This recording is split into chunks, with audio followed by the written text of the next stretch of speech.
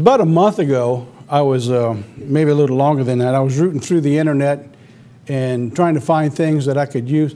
Is that loud enough? Can y'all hear me? It sounds awful low over here. Danny, you can turn me up a little bit. I appreciate it. Is that uh, I was going through the internet trying to find stuff for news nuggets and insights, and I came across it says Four Chaplains Day. I said, what in the world is Four Chaplains Day? So it caught my interest. And then I went through and I began reading about these four chaplains during World War II. Four different chaplains from four different faiths. And, and it was so inspiring. It was a story of courage, of faith, of devotion, and sacrifice. Then I found out that there was a video that went along with it, and there's a whole bunch of videos. When you start looking for something, if you can target in on a specific subject, you'll find the internet's full of it. You just didn't know it until you open your eyes and say, whoa, look what's there. So this was one of those stories. So as I read this story, a spirit inside of me was kindled. And I said, well, normally when that happens, you know, there's, for me, there's a reason I need to go look and see what's going on. Sometimes it's kindled that it's anger and I'm sure everybody here has the same feelings and emotion, is being in touch with the spirit that God grants inside of us. So I went back and I started looking at this story. So I want to talk about that story, and I'm going to show you one of the videos in just a few minutes. I just want to give you a little bit of background. Then I want to show you the amazing connection between looking at a story like this, of the example of these men. Of course, you might say, yeah, but these people don't have the truth. I'm going to show you something in just a few minutes about this. Then I'm going to take it into a biblical account with the Apostle Paul and Timothy and show you how all of this applies to you and I in our dedication lining up to Passover this year, which I thought this was the perfect time to be able to share that. So let me give you, first of all, a little bit of background about these men. The four chaplains, also referred to as the immortal Chapmans, or the Dorchester Chapmans were four World War II chaplains who died re rescuing civilian and military personnel as the troop ship SS Dorchester sank on February 3, 1943. It had only been about a week since it left New York, and it was heading over to Europe, and they had to stop to be refilled and charged before they actually went across the Atlantic when they were sunk. The Dorchester was a civilian liner that was converted for military service. In World War II, As it was a shipping administration of troop transports. She was able to carry slightly more than 900 military passengers and crew, and on this particular day, it was full. The waters they were going into was about 34 degrees. That means whoever went into the water had about five minutes before the body began to shut down.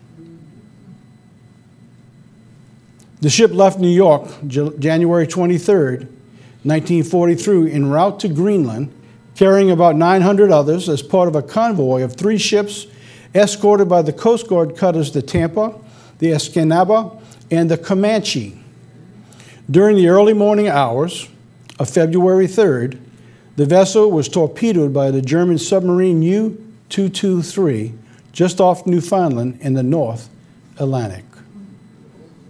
That was the beginning of the story that I seen about these men that they have determined to have the four chaplains days.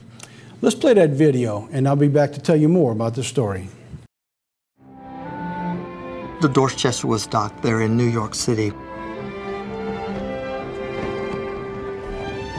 The chaplains joined the throngs of men that were gathering on board the ship. There were four chaplains. One was a Roman Catholic priest named John Washington. Another was a Jewish rabbi named Alexander Goode. There was two Protestants, Chaplain Poling and Chaplain Fox. They were all lieutenants. They had all gone to chaplain school. And the four of them found that they all had so much in common. They thought in terms of humanity and not just in terms of their own individual community.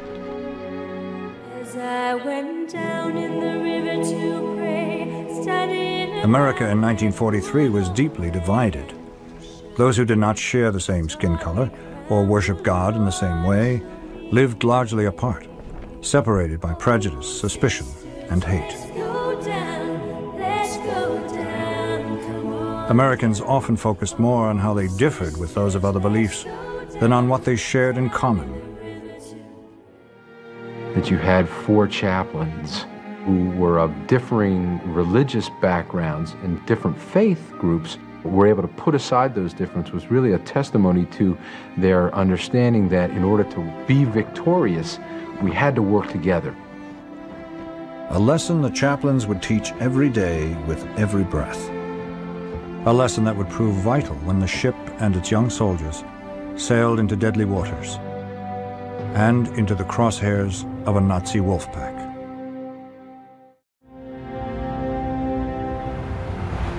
The Dorchester ended up pulling in three days later to Newfoundland.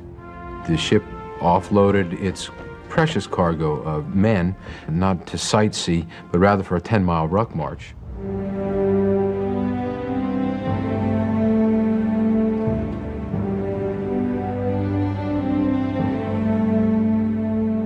After the Dorchester left uh, St. John's and went into the open sea, the Germans got word that the convoy was heading toward Greenland. The Dorchester was now on a collision course with the enemy. Fear would stalk the decks. Its primary antidote, faith, and the four chaplains who understood its power. On February 3rd, 1943, at 1 o'clock in the morning, we heard this tremendous explosion. We were hit by a torpedo. The torpedo hit into the right side of the ship. Everything went black. All lights disappeared.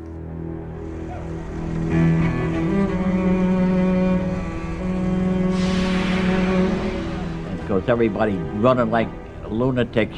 It was every man for himself. People frantic, people who didn't forgot their life preservers, people who didn't have clothes on.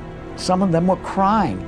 They were just caught completely surprised and they didn't know what to do. The chaplains made their way to the top deck, doing everything that they could to try to give soldiers some direction in order to save as many lives as they possibly could.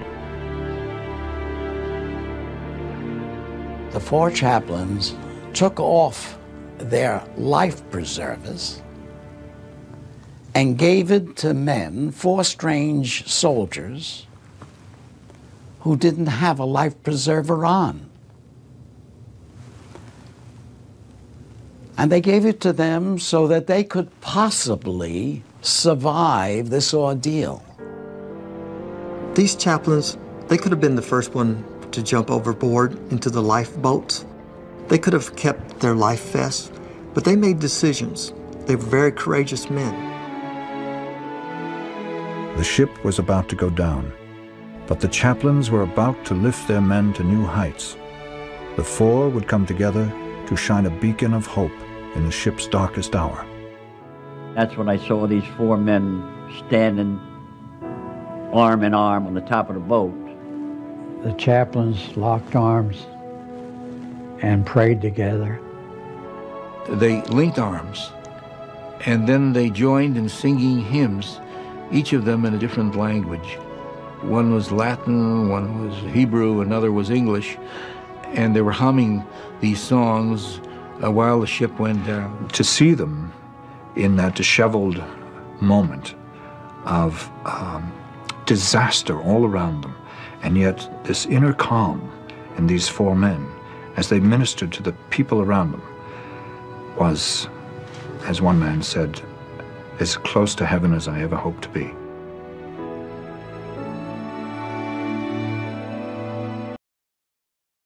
You know, when I saw that, some of the first things that went through my mind is I, I wondered about the Church of God, the Church of God community, who quite often don't want to speak to one another, or churches who feel that they're better than another church or another church organization. You have to wonder at the end time when our ship that we live on today, called Earth, when it goes down, before the return of Jesus Christ. So I began to wonder, so like, what in the world is it going to be like for you and I? So I thought about this story in the light of this, and I wrote about it in the Think in the newsletter that just went out. Thinking about the words of Jesus Christ, it says, Greater love has no man than this, that a man lay down his life for his friends. And that is what they did. They knew the waters, and they knew there was only so many boats that were there. That boat went, went, that ship went down in 20 minutes. That's all they had was 20 minutes. And they knew when they took that life jacket off that their life would be over. But they stayed there. They locked arms. They didn't try preaching.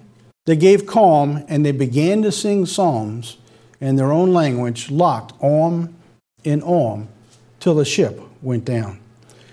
So I'm sharing this story of their lives to see what insight we can glean from their example. First, I'm going to talk about it with our calling. You see, these men stood on that ship. They understood the day they boarded that ship that their calling could be brought into light. Two, I want to tie that into the end times of how the example of what these men did should be an example for you and I. Then I want to talk about the connection of that service of what they did for those men who were on that boat, just like you and I, that our example, as we stand on the bow of this ship that goes down, may be the example for that innumerable multi, multitude yet to be called. So before I go into it, though, I want to relieve or remove a barrier. It's not as prevalent as it used to be in earlier years when I was in the Worldwide Church of God. It's a spirit of self righteousness to some degree. Is what I mentioned a few minutes ago, but they don't have the truth. And to this day, you'll have people who might feel that way. So I want to remind us of a few scriptures that maybe sometimes we don't think about. This is the one that usually comes to mind. Not everyone to me says to me, Lord, Lord, shall enter the kingdom of heaven. But I profess to them that I never knew you. Depart from me, you workers of iniquity. Well, you might say, well, these are Sunday keepers. Well, these are pagan worshipers. They keep Christmas and they keep Easter. But there was a love inside of them that they knew that when they gave up that life jacket, they were going to die. And you can't deny the words of Jesus Christ when he tells us no greater love they have than that. And I remember the Pharisees when they went to and Jesus says, Yeah, you tithe on every inch. You have all the laws down, but you've forgot the weightier matters of the law of love one to another. So we can't, as a church, get to the end times and look at the people that God's going to bring into the truth through our works that God grants us to judge them in that fashion before they're called. We have to have an open mind and an open hand to love one another. Remember the Roman centurion? He wasn't converted yet. The Roman centurion says, Lord, I am not worthy that you should come under my roof, but speak the word only, and my servant shall be healed. He watched Jesus Christ and he believed Jesus Christ. He says, For I'm a man under authority and have soldiers under me. And I say to this man, Go, and he goes, and come, and he comes. And to my servant, Do this, and he does it. And when Jesus heard it, he marveled, and he says to them, Truly I say to you, I have not found so great a faith, not in Israel. But he didn't have the truth. you see where I'm getting at? It's the fact of what's inside a person that God wants us to understand. How about this? How about in the days of Elijah and Elijah? Luke 24. So I assure you, there were many widows in Israel in Elijah's time. When the sky was shut for three and a half years, there was a severe famine throughout the land. Yet Elijah was not sent to any of them, but he was sent to a woman's Zarephath in the region of Sidon. And there were many in Israel with leprosy in the time of Elisha the prophet. Not one of them was cleansed, only Naaman the Syrian. So, so God doesn't look at things and people like we do. We need to get that through our heads because you see, the work we're going into is to rub elbows with the unclean. you remember the Jews in their day? But they're unclean, right? So this is where we're going today. We're going into those where God is going to bring each one of us. Now, the chaplains, all right, the chaplains in World War II, at the beginning of World War II, there were only 242 who were serving at the beginning of World War II. In this big old military like they had, there was only, at that time, 242 at the beginning. It was because of pacifism. Now, we look at the church today and you look at what's going on in the world, in our society in America today, it's pretty pacifist. It's like, don't bother me. If it doesn't affect me, don't bother me with it. Because of pacifism and a general anti war sentiment that affected the recruiting of the chaplains of the armed forces, but in December 7, 1941, the Army had at that time 137 chaplains who were on active duty in the, in the Army and only 105 in the Navy. That's all they had. They couldn't round them up to put them in the military. They couldn't find enough. But by the end of the war, by the end of the war, there were over 1,300 who were actively serving, and they had a waiting list. They had a waiting list. What transpired from here to here? When I see things like this, there's something inside the spirit that says, you know, at the end time, I get phone calls from people saying, How come we're not growing? How come there's only a, peop- a person here or a person there? How come we don't fill our churches? Well, we can fill the churches. We can just go to Sunday, keep Christmas, keep Easter. We'll begin to fill the churches. But God has a plan, it's His way. Because you see, by the end of the war, our churches are going to be filled. They may be meeting underground, they may be persecuted. But you cannot deny the fact of Revelation where he says that there will be an innumerable multitude who are going to come out of tribulation. There's something about tribulation and persecution that, that rears up that spirit inside of people who have been touched by God that brings the anger for the atrocities that take place in front of them. We're going to begin to see that. By the end of the, by the, end of the war, 100 chaplains were killed. The second largest percentage being killed of any group right after the foot soldiers in the army. The largest percentage killed were chaplains. 246 chaplains received awards and decorations. They had more received awards and decorations at the end of war than were in chaplain service before the war began. Of that, four distinguished service crosses that went, went to the four men you just saw. The only four times the four men has ever received that award. There were six legions of merit, 48 silver stars, 133 bronze stars, and 54 purple hearts. Those men going to the front lines to serve those people that they were called to, to serve. Well, you see, I could go to Hebrews 11 and I can begin to show you the chaplains in God's service. And there's a list of them. Revelation says, and this is why I'm telling you this story today, that's not all of them. There's coming another time of martyrdom. We need to realize that. Because each one of us, as I'm going to show you in just a minute, we're going to have to stand on the bow of our own ship. So we can draw a direct parallel from the chaplains who served in World War II that are likened to that to those that are being called in our day. In the overview, looking to the future, there are things that are important to note. Before the war, the majority of America was just lethargic to what was going on in the world. They didn't even want to get into the war. After the war began, there were tens of millions of people that rose to serve in various responsibilities. And so will it be with the calling of God to those in this world. This is where the innumerable multitude will come from. And third, people were willing to give up their lives in order that freedom and justice would be preserved. How about us? See, we've lived a pretty easy life in the church. Nobody's been going after us. Usually, if there's any persecution, quite often we bring it on ourselves. But the true persecution is yet at the door. Our spiritual connections, we too are the sinking ship. The enemy attacks out of the sea. And I thought this was another interesting point that that submarine was coming up out of the sea. Look at Revelation 13:1. And I stood on the sand of the sea, and I saw a beast rise up out of the sea. And 17:15 said, and unto me he said, The waters which you saw where the whore sits are peoples and multitudes and nations and tongues. Which draw another interesting point to the story of the ship being attacked by the enemy who are coming up out of the waters. The Chapmans had to count the cost. When they got on that boat, they had counted the cost.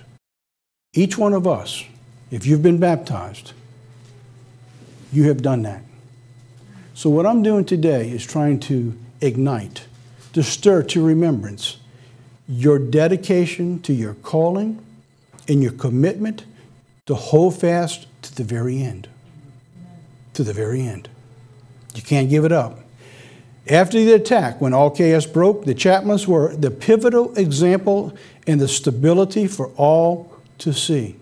When Jesus Christ came to this earth, we read in Matthew chapter 4, he said there was darkness on the earth.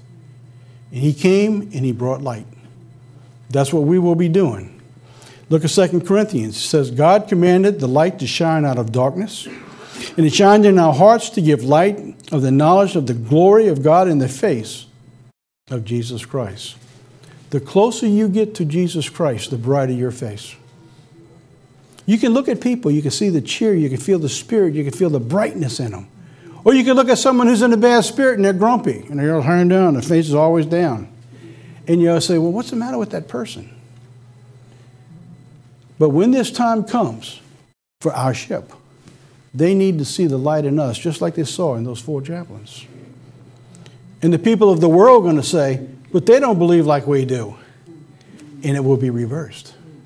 And God will move them to you to be able to bring them stability. They also knew this that we need to get into our thick skulls from time to time. There was no turning back.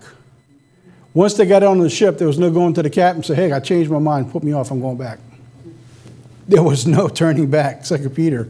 It says, after they had escaped the pollutions of this world, through the knowledge of the Lord our Savior Jesus Christ, they are again entangled therein and overcome, and the latter end is worse with them than the beginning.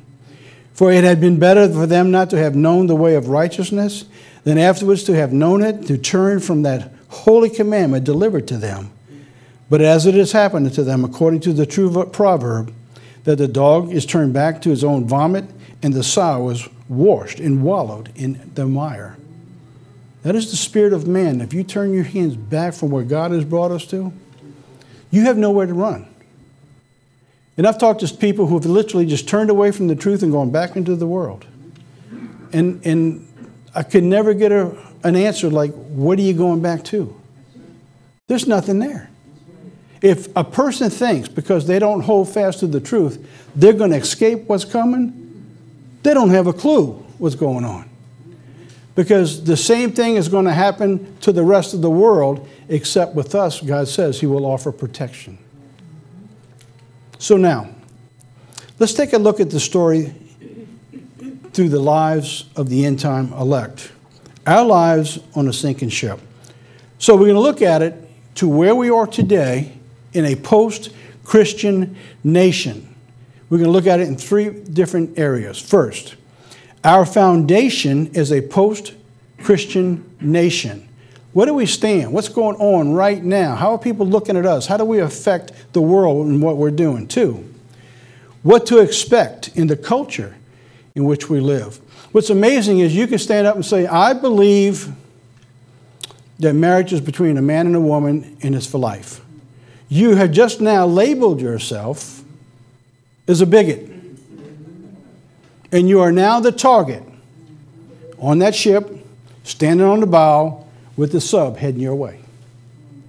All you did was confirm what you've always confirmed since you were born. But because you haven't changed, you haven't changed the culture and what you live. It has changed, and you have now been moved out. And I'm going to talk about that in just a second with five different cultural ways of preaching Jesus Christ. Three, what we must do in a post Christian nation. What are we supposed to do? How do we act?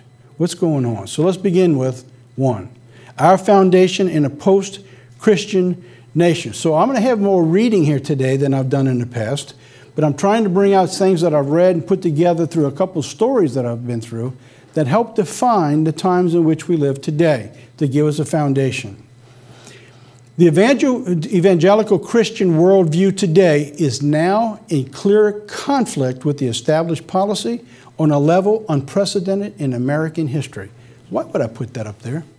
Because I still talk to people in the church today who do not preach prophecy, who do not think of end time, who think we have plenty time, that everything going on today has always been going on. No, not so. Now, you might have said that seven years ago, but you can't say that today for it to be true. Our culture has previously embraced unbiblical immorality with regard to sexual promiscuity. True, it has. It's embraced it. The LGBT issues, the pornography, divorce, abortion, and euthanasia. But the difference was we were free to practice biblical morality in response. In other words, if that's what you want to do, fine. You go do it. We're going to do what we're going to do. Do you realize that that's not the case anymore? In the past, that's the way it was. So when someone tells you today it's always been this way, I want you to bring them to the reality of where you stand today. 20 years ago, I, I wouldn't risk going to jail or losing a job or being attacked or persecuted because I simply believed in marriage. That didn't happen. Throughout the time of this nation, it never happened. At the time, no one made us choose or provided abortion.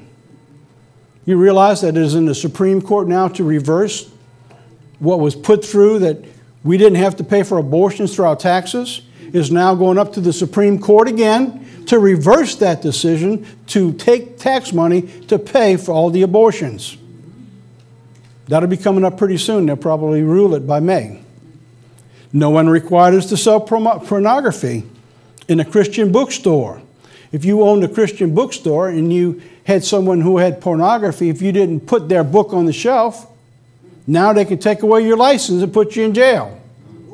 You might win. But who's got the money and the time to do that? In most cases, everyone simply shuts down going on. But now, but now, now the law of the land has endorsed same sex marriage and may soon ele elevate the LGBTQ persons to a protected class. In other words, if I say that you cannot, God does not accept marriage between male and male or female and female, or he doesn't believe in transgenderism, that is now hate speech. If the law gets through, and there's a law coming, it's called the Equality Act. If that is, if that is passed and it has been adopted through the House, the Democrats own the government. It will probably get through the Senate. If it becomes law, there will be no recourse for religious liberty. You need to understand that. That is what's coming. So today, as I preach this sermon and I go live streaming, if someone's outside the door and they're getting on the live stream and they call to the police, come in, shut it down. It's against the law. If you believe it won't happen, then you don't understand prophecy. Because it is coming. That means every minister, every deacon, every speaker in all the churches across the land, if you're going to hold fast to the truth, that means you have chosen to stand on that bow and take off your life jacket if needed to hold fast to the faith that's been once delivered. You realize that? This is how fast things are moving. That is the culture we live today. Evangelicals are viewed as intolerant and discriminatory by our society just as if we're racist, appealing to religious liberty to protect our bigotry. It has been completely reversed. In just a few short years, they have taken what is evil and called good, taken what was good and called evil. That is where we are today. If someone tells you it's always been this way, no, It's been that way in certain people's minds, but it's never been the law of the land like it is today. Refusing to perform a same sex marriage is seen as prejudice, just as if we refused to perform an interracial marriage years ago. Amazing how fast things have changed. Our foundation, a post Christian world, we need to have the courage to stand against oppression. Standing for biblical truth in the face of oppression will require will require, not that you might have to get it, it's going to be required of you consistent courage over the years to come. Developing stamina in a post Christian nation. It's not going to be uh, just a week or two weeks. From the time this actually begins to put into place, you will not see it return until Jesus Christ comes back. God warns us it's called the time of the wearing down of the saints. It will eventually move into the period of the time where God warns. It'll be like a, a, a person giving birth. Jacob's trouble, God calls it. That's coming. Daniel 7 25 says, And he shall speak great words against the Most High. He shall wear out the saints of the Most High.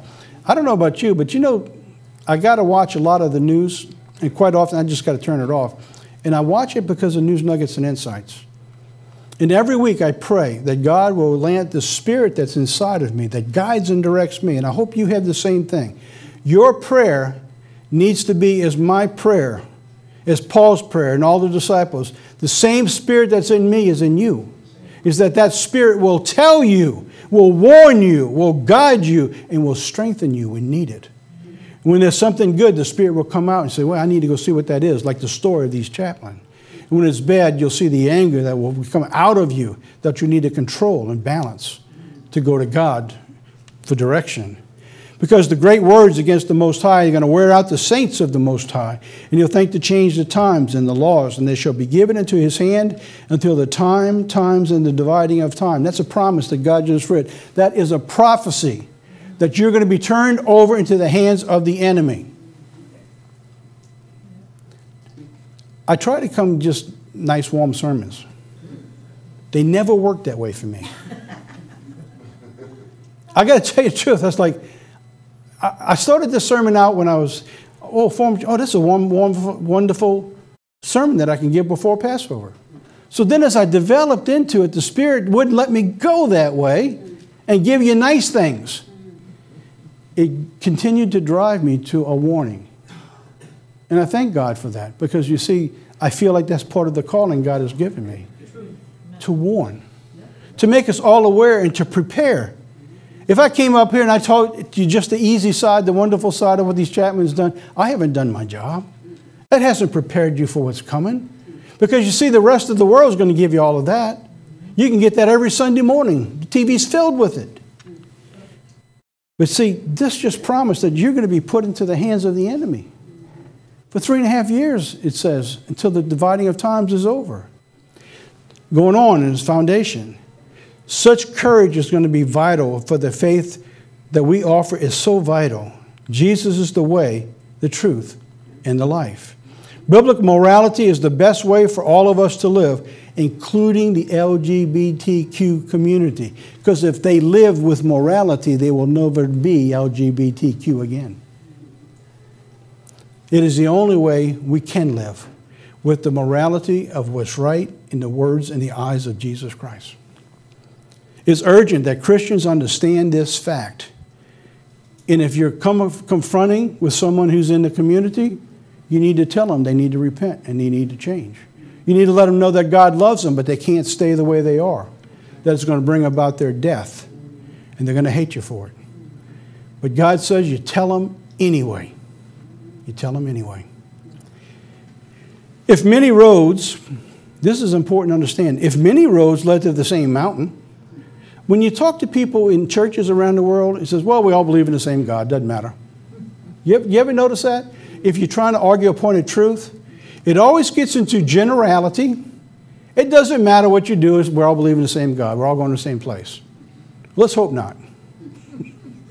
Let's hope we're not all going to the same place. Because if you're living an immoral life, you're not going to have eternity with Jesus Christ. So here, if, if many roads lead to the same mountain, there's no reason to pay a price to convince others to take our road, right? If it doesn't matter, why do this? Why did these men dedicate their lives and give up their lives if it doesn't matter how you get there? Because you see, that's a lie. And anyone who tells you otherwise is lying to you. If there were many ways to resolve World War II, the military sacrifices paid by so many was unnecessary. There was only one way to win World War II is to defeat the evil that was trying to overtake this world. See the connection today? There are not many ways to save this planet. There's only one. It is to defeat the evil, for Jesus Christ to come back. Going on. If Jesus is not the only way to heaven, we need not face the ridicule of our secular culture for seeking to win others to Him. See what I mean? If there's all these ways, why worry about what we're doing? We'll just go preach, we have a good time, eat a lot of food, have a potluck, go home. The world's going to be a better place. It doesn't work that way. If Peter was wrong in declaring there is salvation in no one else, there is no other name in heaven given among men that we must be saved. There was no reason for him to give up his life to share that salvation with the Roman world. In other words, why would he risk his life if that was the only if there was more than just one way? Why don't he just go along with the Romans and say, sure, you can worship all your gods? We're all going to the same place. See my point? You're going to have more and more of this, not Jesus Christ. You're going to move into a Christian society of compromise for fear. So now, two, what do we expect in a, in a culture in which we live? Now we're coming to today. There's a book that was written, it's called Christ and Culture by Richard Niebuhr, and it was around the 1950s, or early 1960s, or 40, late 40s or early 50s. Now he's dead now, but this book brought in, by understanding the different cultures, that it brought in a lethargic attitude in the churches. And that is why when the ruling came out that you could lose your 501c3 and lose your taxes at a certain particular time during the government, that the church became just kind of quiet, choosing rather to be a non committed church, whereas not to lose or offend anyone. So by the time it came to the 60s, when it was important to stand on that bow of that ship, the churches were silent. Evil rose, prayer was removed, abortion was allowed, and it began to move on that the generation of free love grew up and took over the government, and God began to move out as the church remained silent. That period of time has accelerated since 2015 to the time you live today. The five cultures that he had was one, Christ against culture, the Christ of culture, the time we live, Christ above culture, Christ and culture in paradox, and the Christ transforming culture. The churches would take its stance that he found in his studies in these five different areas. Now, I've got those five different areas very briefly outlined. You get the book, you'll go through the books and the chapters, it goes into more detail. But I'm going to give you the summary of each one of those so that when someone preaches to you today, you can say, oh, that's above culture, that's against culture, or do they stand for the truth?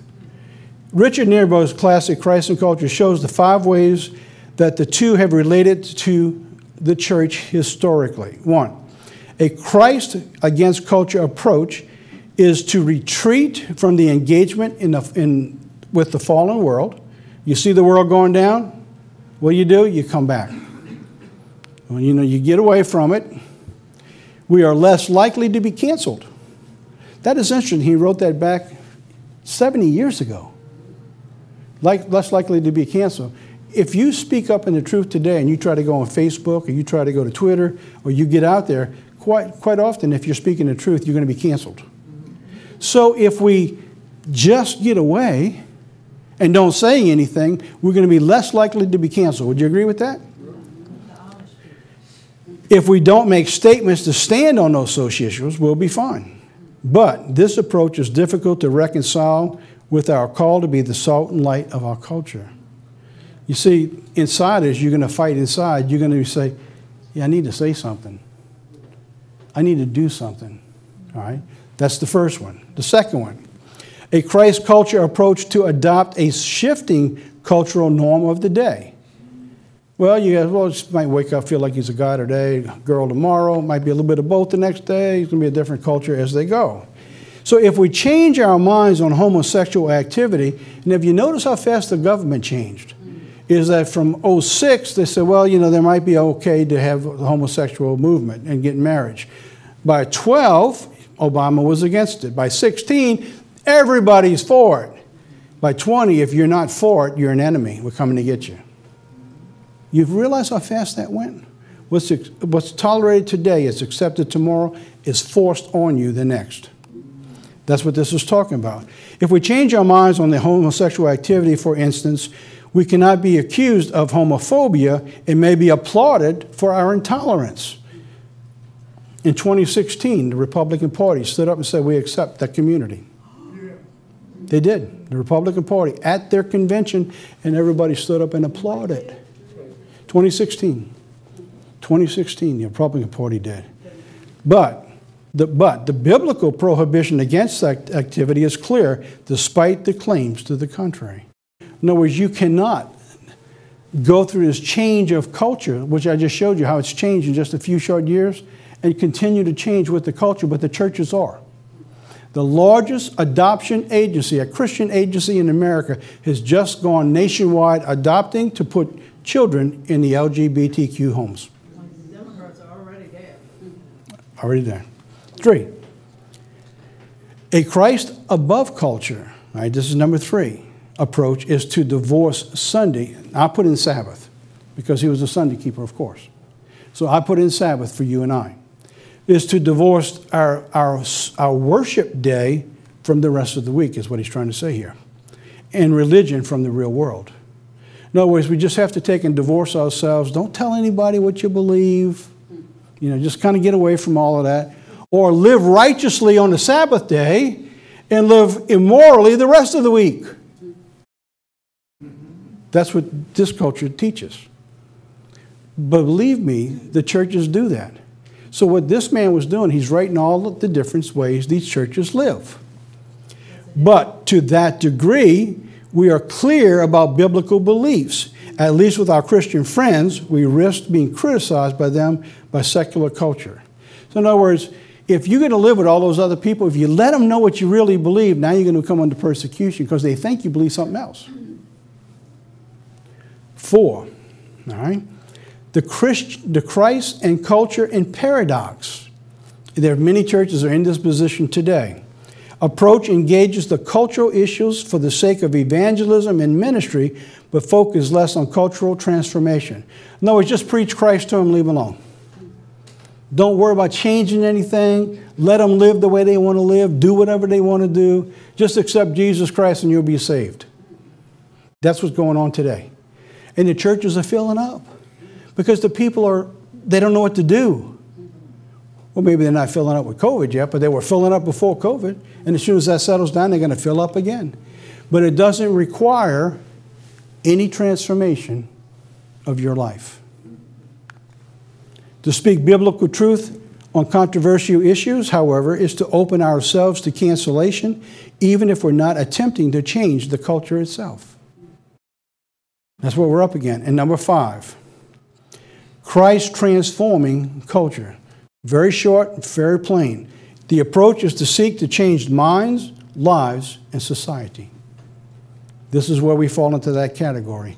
Such an initiative will especially face op- opprobrium, which means persecution, and worse.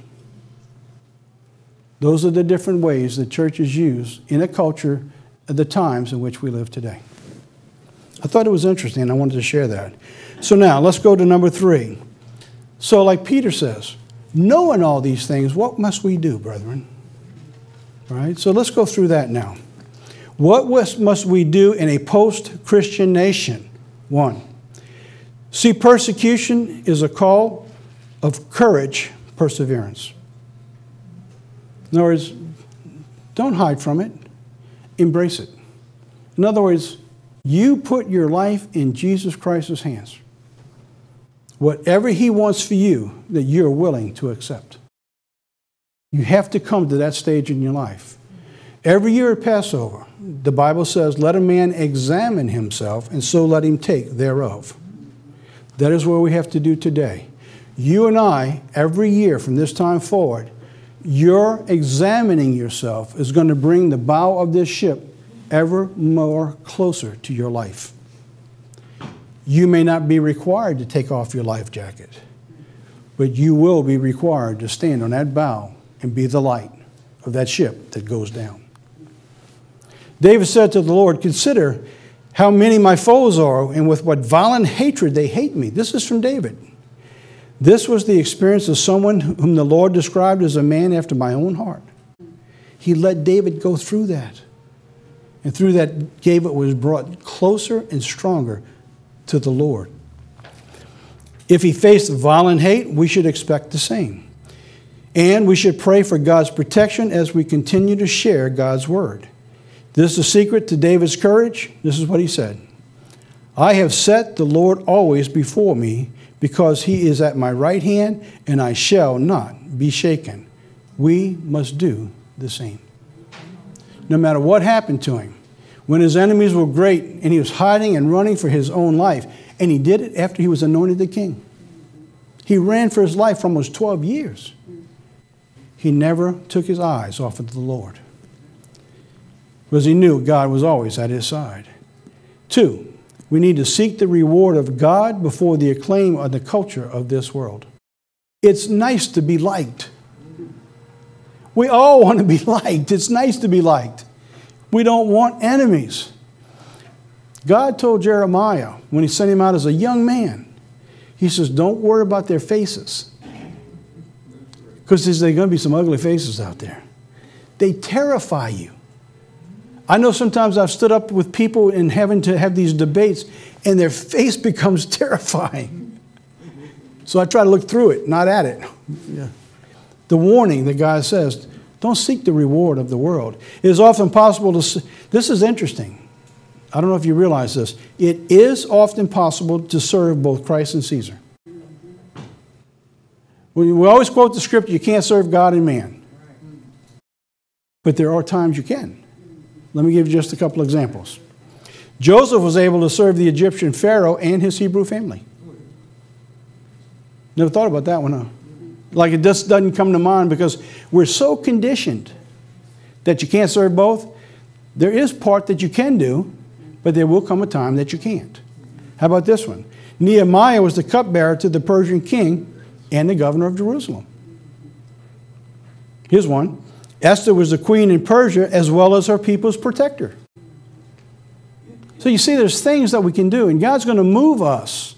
Some people will be moved in positions that are going to be very challenging.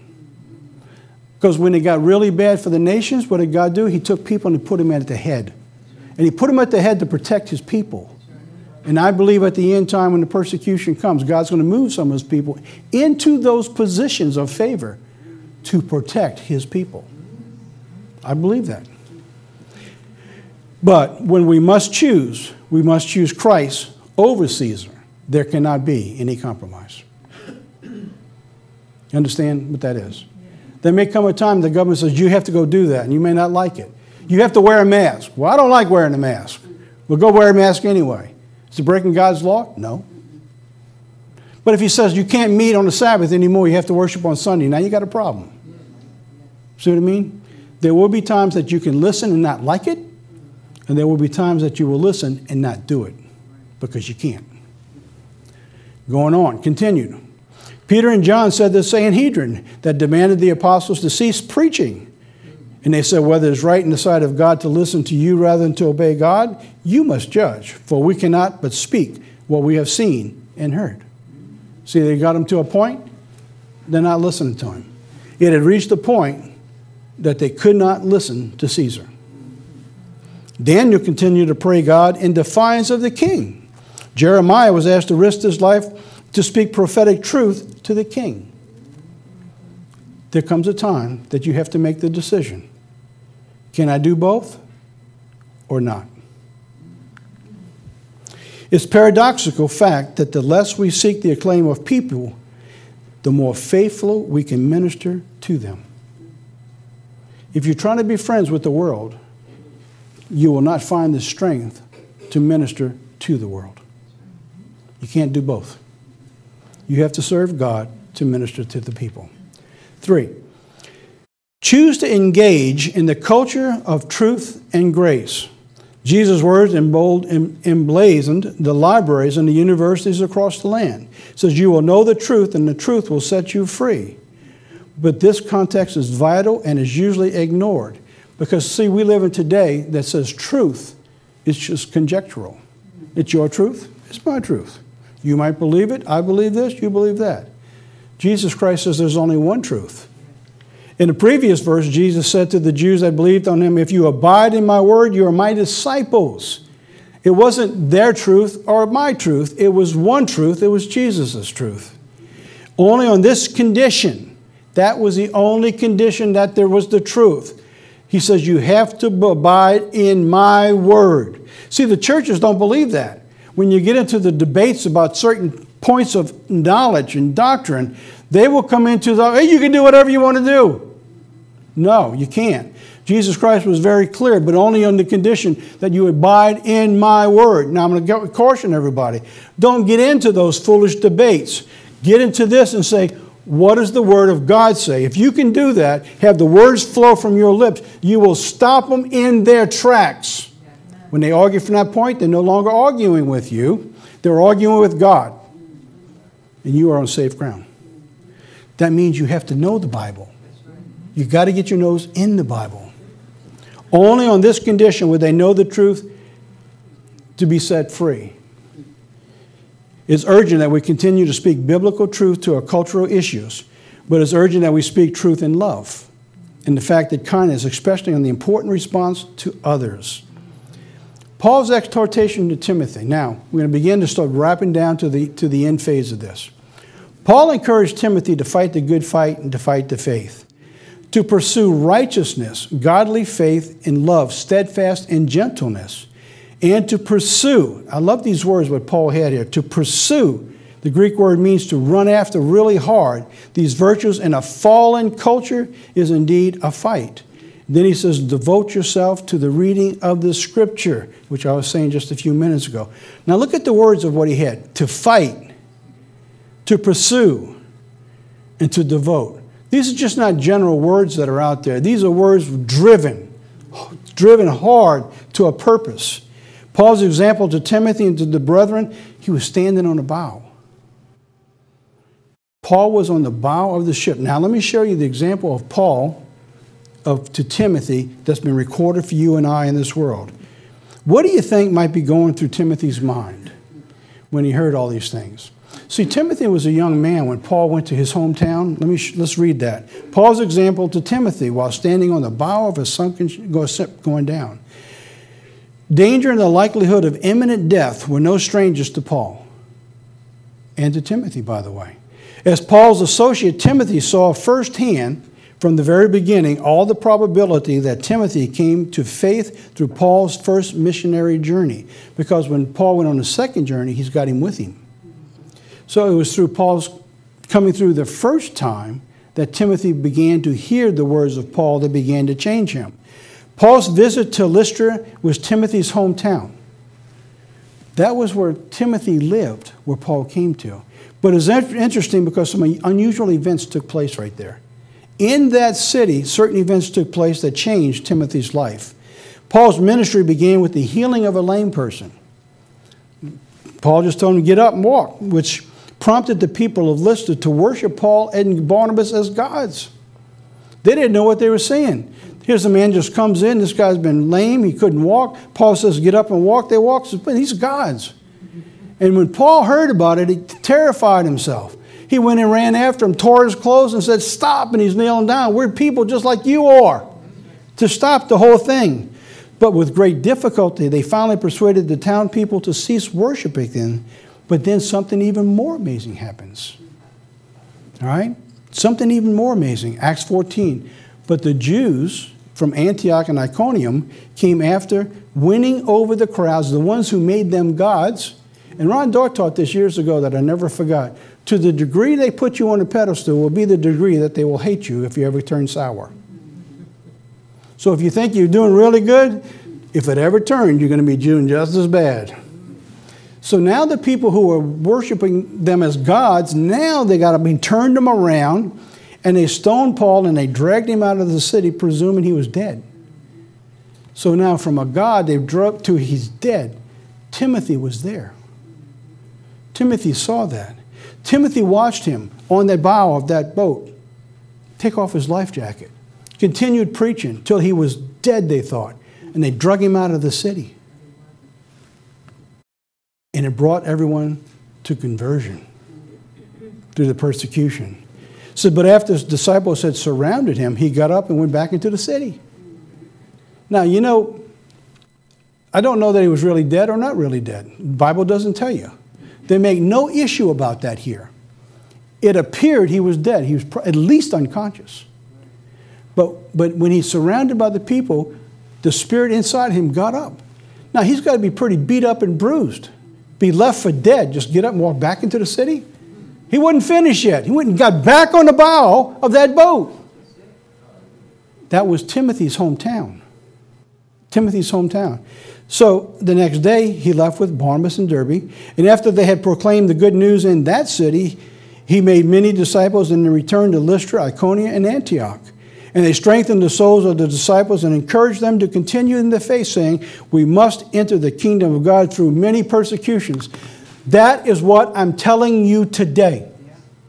If we're going to get into the kingdom, what's on our doorstep, just like with the Apostle Paul, I mean, his example of taking his life jacket off and giving it to those people there, put his life on the line. They looked like they killed him. He got up and he went back and he got some more. And what did he do?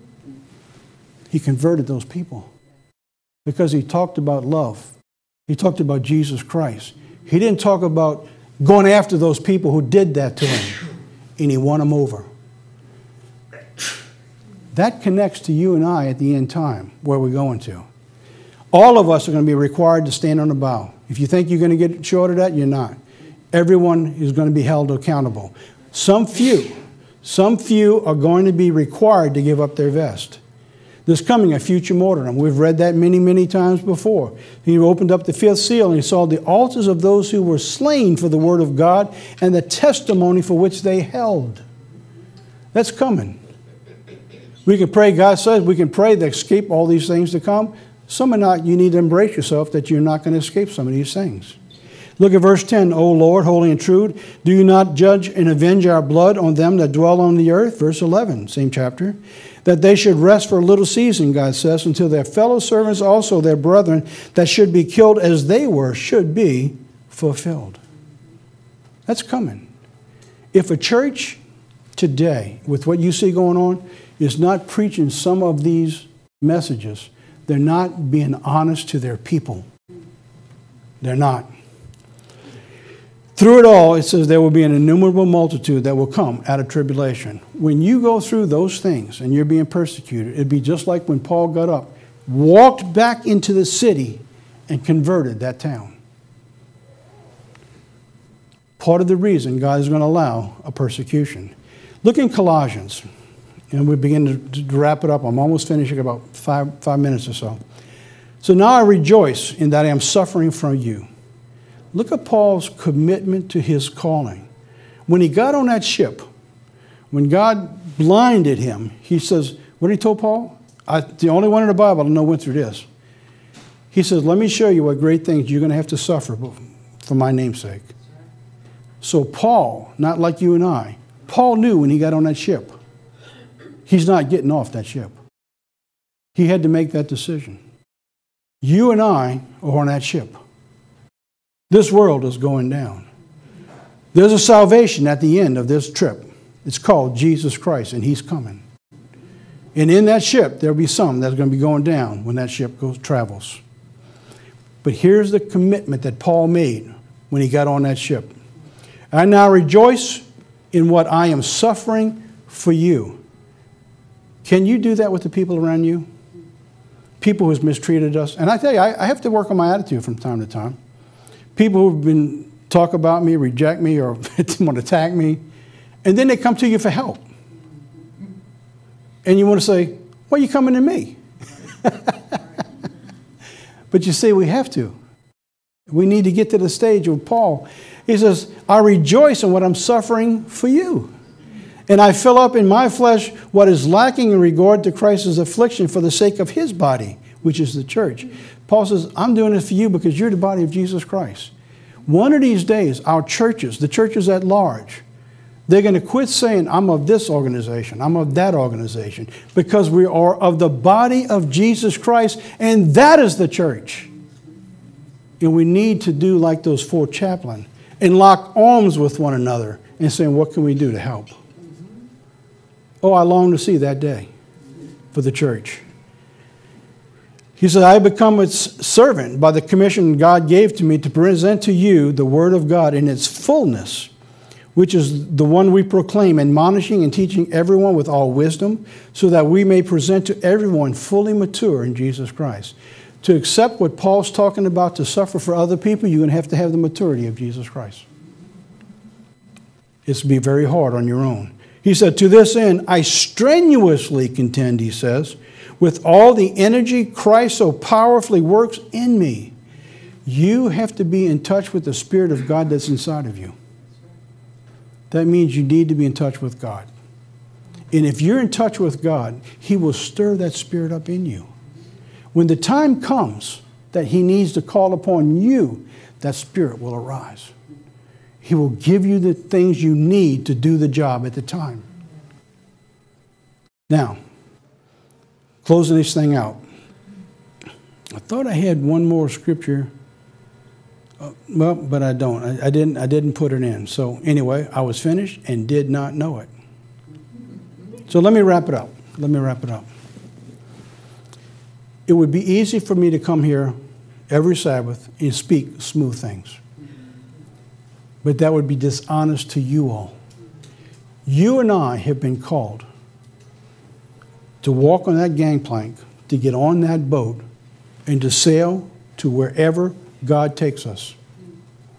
We have to be the light so that when everyone was jumping off of that boat, they seen those four men locked arm in arm, singing hymns in their own language. They did not try to preach a sermon, they lived one. And it brought hope to everybody who was in those boats. Only 200, and I think 30 or 40 people lived out of those 900. All the rest died. But the story of what they did lived to this day. And I'm telling you, what God does through you, that somewhere in the millennial reign, that story will live during that period of time. He's done it from the Old Testament. We read about it in the New Testament. The New Testament, what they did at the time of Jesus Christ, we read about today. There's no reason to think that God's going to do things differently. Our calling is sure. Our commitment is in your hands. Pray that God will give us the strength to stand like these four men who may not have had the truth, but they had the love of Jesus Christ. Hope that helps everybody prepare for Passover.